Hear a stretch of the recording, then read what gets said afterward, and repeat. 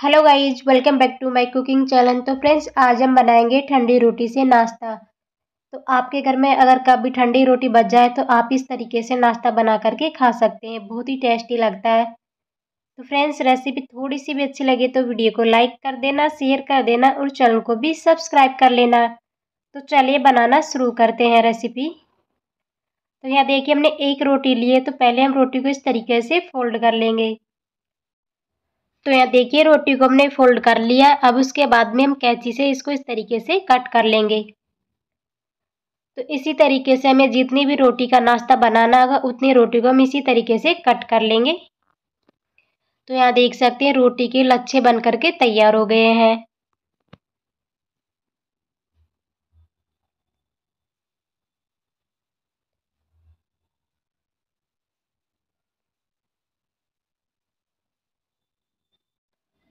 तो यहाँ देखिए, हमने रोटी को कट कर लिया है। रोटी को कट करने के बाद में जो लच्छे हमने तैयार किए थे, इनको इस तरीके से एक एक कर लेंगे और इसको एक बाउल में डाल देंगे।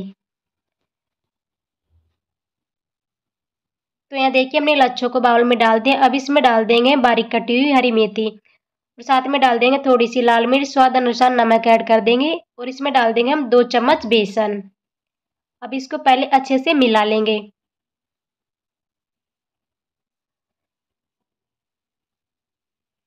तो यहाँ देखिए, हमने बेसन को इसमें अच्छे से मिला लिया। उसके बाद हम इसमें डाल देंगे थोड़ा सा पानी। बिल्कुल थोड़ा सा पानी डाला है।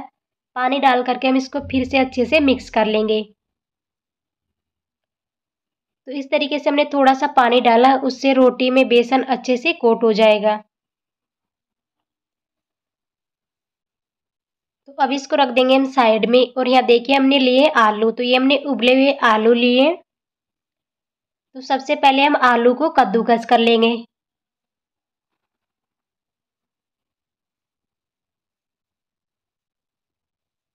आप चाहे तो इसको मैश भी कर सकते हैं पटोटो मैश से, लेकिन हमने देखे यहाँ बारीक वाली जाली ली है, इससे कद्दूकस कर लिया है। तो इसी तरीके से हम सारे आलू को कद्दूकस करके तैयार कर लेंगे। तो यहाँ देखिए आलू को हमने कद्दूकस कर लिया अब इसमें डाल देंगे बारीक कटे हुए प्याज। तो यहाँ हमने एक बारीक कट करके इसमें प्याज डाल दिया है। अब उसी के साथ में डाल देंगे बारीक कटी हुई हरी मेथी। और स्वाद अनुसार नमक ऐड कर देंगे और थोड़ी सी लाल मिर्च ऐड कर देंगे। अब इन सारी चीज़ों को पहले हम अच्छे से मिला लेंगे इस तरीके से। तो यहाँ देखिए हमने सारी चीज़ों को पहले अच्छे से मिला लिया है। मिलाने के बाद में हम इसके इस तरीके से रोल बना लेंगे। तो यहाँ देखिए, हमने लिया है थोड़ा सा पनीर। तो पनीर को हम पतले पतले स्लाइस में इस तरीके से कट कर लेंगे। आलू के मसाले के बीच में हम रख देंगे पनीर। और पनीर को रखने के बाद में इसको अच्छे से पैक कर लेंगे इस तरीके से। तो हमने इसको सिलेंडर शेप में बना करके तैयार कर लिया है नाश्ते को। तो यहाँ देखिए, नाश्ते को हमने इस तरीके से बना करके तैयार कर लिया है। तो देख सकते हैं कितना अच्छा हमारा नाश्ता बन करके तैयार हुआ है। तो इसी तरीके से हमने सारे नाश्ते को बना करके तैयार कर लिया है। तो यहाँ देखिए, नाश्ता हमारा बन करके तैयार हो गया है। तो अब एक छोटी सी तैयारी और कर लेते हैं। तो यहाँ हमने एक कटोरी में लिया मैदा। तो मैदा में पानी डाल करके इसको अच्छे से घोल लेंगे। तो इसका एक पतला सा घोल बना करके तैयार कर लेंगे।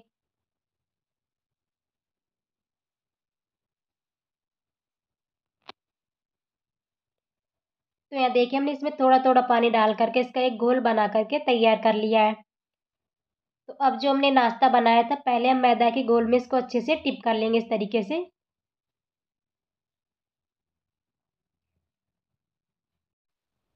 मैदा के गोल में इसको अच्छे से टिप कर लेंगे। उसके बाद जो हमने रोटी तैयार करके रखी थी, उसमें इसको अच्छे से कोट कर लेंगे इस तरीके से। तो नाश्ते के हमें रोटी को इस तरीके से अच्छे से लिपेटना है।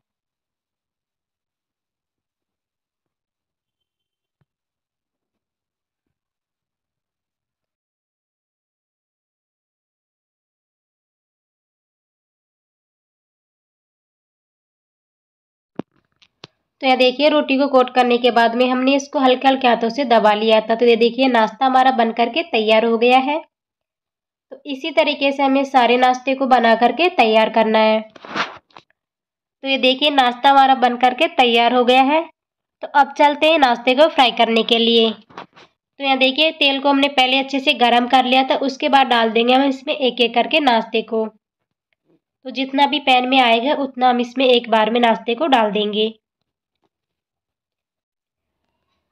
तो यहाँ देखिए, नाश्ता एक साइड से हमारा अच्छे से फ्राई हो गया है।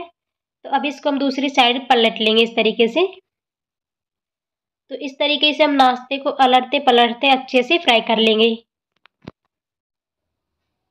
तो फ्रेंड्स आप देख सकते हैं, ठंडी रोटी से कितना टेस्टी नाश्ता बन करके तैयार हो गया है। तो नाश्ता हमारा अच्छे से फ्राई हो गया है। तो अब एक एक करके नाश्ते को निकाल लेंगे बाहर।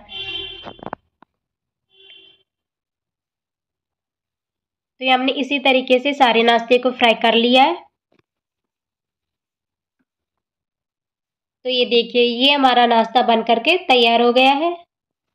तो फ्रेंड्स रेसिपी थोड़ी सी भी अच्छी लगी है तो वीडियो को लाइक कर देना शेयर कर देना और चैनल को भी सब्सक्राइब कर लेना। तो आप इसको टमाटो केचप के साथ या फिर हरी चटनी के साथ सर्व कर